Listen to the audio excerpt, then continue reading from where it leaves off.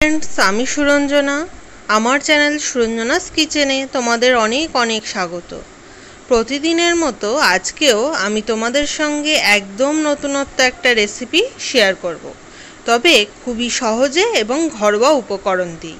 চলো তাহলে শুরু করে দেওয়া যাক। আজকে আমি তোমাদের জন্য নিয়ে এসেছি একদম নিরামিষ একটা পনিরের রেসিপি। তবে একদম অল্প তেলে এই পনির লাবাবদার কীভাবে তোমরা বানিয়ে ফেলতে পারো, সেই রেসিপিটাই আজ তোমাদের সঙ্গে শেয়ার করব। তবে কম তেলে বলে ভাবো না, স্বাদটাও কম। এর স্বাদ রেস্টুরেন্টের পনির লাবাবদারের তুলনায় কোনো অংশেই কম নয়। তাহলে চলো চটপট রেসিপিটা দেখে নেওয়া যাক। খুবই সহজ, একদম ঘরোয়া উপকরণে, কিন্তু একদম রেস্টুরেন্টের স্বাদে এই পনির লাবাবদার আমরা আজ বানিয়ে ফেলব।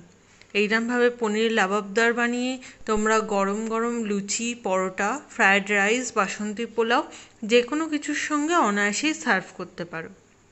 আর এই পনির লাবাবদার একদমই নিরামিষ, তাই যে কোনো দিনই অনায়াসে বানিয়ে ফেলতে পারো। চলো, তাহলে প্রথমেই দেখে নিই উপকরণগুলি। আমাদের প্রয়োজন পনির, অবশ্যই লাগছে পনির। আমি এখানে দুশো গ্রাম পনির ছোটো ছোটো টুকরো করে কেটে নিয়েছি। দেখো, তবে তোমরা যেরকম চাও সেই রকম অনুযায়ী টুকরো করে নিতে পারো। ফোড়নের জন্য গোটা জিরে, ছোট এলাচ আর দালচিনি। রেখেছি চার মগজ, কাজু বাদাম, কাসুরি মেথি। রেখেছি স্বাদ মতো নুন, হলুদ গুঁড়ো, ধনে গুঁড়ো আর কাশ্মীরি লঙ্কা গুঁড়ো। টমেটো, আদা আর কাঁচা লঙ্কা। আর লাগছে ফ্রেশ ক্রিম তবে এটা অপশনাল দিলে এর স্বাদটা অনেক গুণে বেড়ে যায়। দেখো বন্ধুরা, এইরকম একটা কড়াই নিয়ে নিয়েছি, তাতে আমরা প্রথমে কসুরি মেথিটা হালকা একটু টস করে নেব মানে জাস্ট একটু গরম করে নেব। কোনো রান্নায় কসুরি মেথি ব্যবহার করলে তোমরা যদি এরমভাবে একটুখানি গরম করে নাও, তাহলে দেখবে কসুরি মেথির স্বাদ এবং গন্ধটা অনেক বেড়ে যায়। কসুরি মেথিটা নামিয়ে নিয়ে ওই কড়াইতেই আমি অ্যাড করলাম জল। আমি কিন্তু এখন কোনো রকম তেল অ্যাড করলাম না। অ্যাড করে দিলাম হাফ কাপের একটু বেশি বা ছোট কাপের এক কাপ জল। এর মধ্যে দিয়ে দেব আদা, পরিমাণ মতো আদা দিলাম। দিয়ে দিচ্ছি চারটে কাঁচা লঙ্কা আর দুটো ছোট সাইজের টমেটো। টমেটোগুলো আমি এরা মাঝখান থেকে কেটে দিয়েছি। হালকা একটু নাড়াচাড়া করে দিলাম। মিডিয়াম ফ্লেমে এবার এটা চাপা দিয়ে একটু টমেটো নরম হওয়া পর্যন্ত আমরা অপেক্ষা করব। তাহলে এটা চাপা দিয়ে দিই। চার থেকে পাঁচ মিনিট পর দেখো কালারটা অনেকটাই চেঞ্জ হয়েছে আর টমেটোটাও কিন্তু হালকা নরম হয়ে গেছে। দেখে নিশ্চয়ই বুঝতেই পারছ। আর কাঁচা লঙ্কাগুলোও দেখে বোঝা যাচ্ছে খানিকটা তো কুক হয়েই গেছে। এবার এই স্টেজের মধ্যে অ্যাড করে দেবো চার মগজ আর কাজু বাদাম। কাজু বাদামের পরিমাণটা কম দিয়েছি আর চার মগজটা একটু বেশি দিয়েছি। ভালো করে নাড়াচাড়া করে নেব। খুব ভালো করে এটা মিশিয়ে দিতে হবে আর জলের পরিমাণটা অবশ্যই তোমরা নিজেদের মতো করে নিও। কারণ জলটা কম বেশি হলে খুব একটা অসুবিধা হবে না।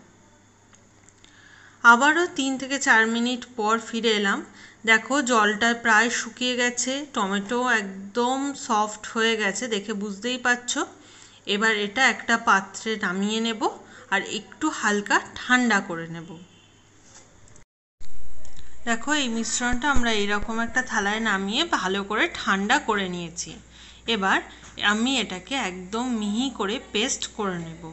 অবশ্যই এই মিশ্রণটা একটু ঠান্ডা করে নেবে, না হলে কিন্তু ব্লেন্ড করার সময় এটা তোমাদের গায়ে ছিটকে আসতে পারে।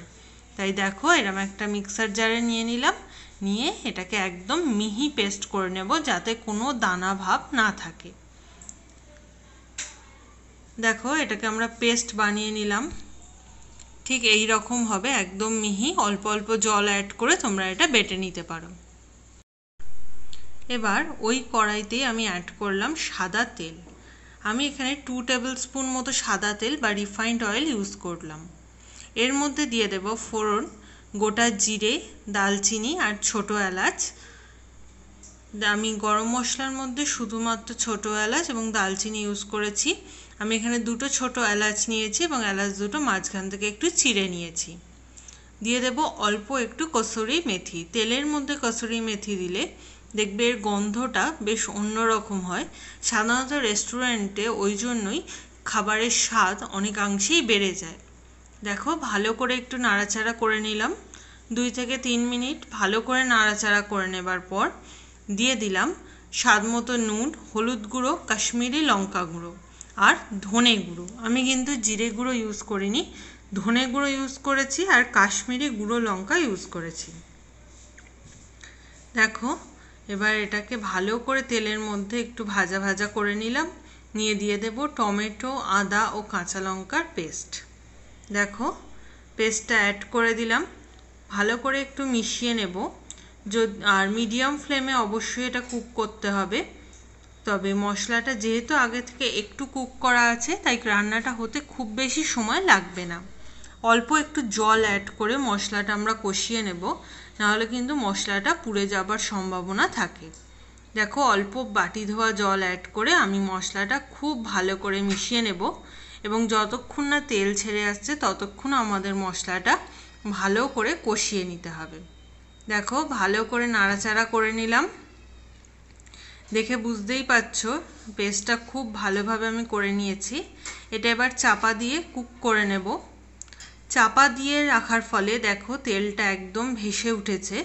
তোমরা চাইলে আরও বেশি পরিমাণে তেল ইউজ করতে পারো বা তেলের পরিবর্তে বাটারও ইউজ করতে পারো। যারা আমার চ্যানেল নিয়মিত ফলো করো, তারা জানো আমি চ্যানেলে একদম অল্প তেলে সুস্বাদু রান্নার রেসিপি শেয়ার করে থাকি। তাই এই রেসিপির ক্ষেত্রেও আমি কিন্তু অল্প তেলেই কীভাবে তোমরা এটা বানিয়ে ফেলতে পারো, সেই রেসিপিটাই শেয়ার করলাম। আবারও একটু জল অ্যাড করলাম, করে ভালো করে মিশিয়ে দিলাম। মশলাটা আমাদের একদম ফুল কুক হয়ে গেছে। কোনো কাঁচা ভাব নেই, দেখে নিশ্চয়ই বুঝতেই পারছ। দেখো, আমাদের পনিরের গ্রেভিটা খুব ভালোভাবে ফুটে উঠেছে। এই স্টেজে দিয়ে দেব কসুরি মেথি। কসুরি মেথিটা আমি ভালো করে হাতে করে গুঁড়ো করে নিয়েছি।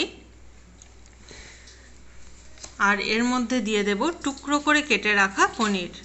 আগে কসুরি মেথিটা দিয়ে দিলাম, যাতে গ্রেভির সঙ্গে ভালোভাবে মিশে যায়। দিয়ে দিলাম পনির। পনিরগুলো আমি এরম ছোট ছোট পিস করে কেটে নিয়েছি। ভালো করে একটু মিশিয়ে দেব। মিডিয়াম টু হাই ফ্লেমেই এবার আমরা পুরো পনিরটা কুক করে নেব। একটু পনিরটা কুক হতে আমাদের সময় দিতে হবে, যাতে গ্রেভি এবং বাকি মশলার স্বাদ পনিরের মধ্যে খুব ভালোভাবে মিশে যায়। চাপা দিয়ে কুক করে নিলাম তিন থেকে চার মিনিট। তিন চার মিনিট পর দেখো একদম তেল ভেসে উঠেছে আর আমাদের পনির কিন্তু একদম রেডি হয়ে গেছে। অ্যাড করব ফ্রেশ ক্রিম আমি আমুল ফ্রেশ ক্রিম ইউজ করছি। তোমরা চাইলে এর জায়গায় বাটারও ইউজ করতে পারো। তবে ফ্রেশ ক্রিম দিলে একদম রেস্টুরেন্ট স্টাইল পনির লাবাবদার আমরা বাড়িতেই তৈরি করে ফেলতে পারব। দেখো, খুব ভালো করে মিশিয়ে দিলাম। আর অবশ্যই গ্যাসটা অফ করে তারপর ফ্রেশ ক্রিমটা অ্যাড করবে। এবার এটা চাপা দিয়ে রেখে দেব। তারপর গরম গরম কীভাবে সার্ভ করব, চলো দেখে নেওয়া যাক।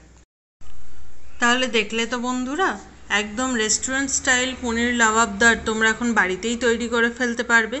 তাহলে দেরি না করে চটপট বানিয়ে ফেলো আর বাড়ির সবাইকে একদম চমকে দাও। রেসিপিটা যদি তোমাদের ভালো লাগে অবশ্যই একটা লাইক করো কমেন্ট করে জানিও কীরকম লাগল আর শেয়ার করতে একদমই ভুলো না। এছাড়াও নানান রকম স্ন্যাক্স আইটেম বা নানান রকম সবজি ডেজার্ট যে কোনো রেসিপি পেতে আমার চ্যানেলটি নিয়মিত ফলো করো আর সাবস্ক্রাইব করো এবং অবশ্যই রেসিপিগুলো ভালো লাগলে শেয়ার করতে থাকো।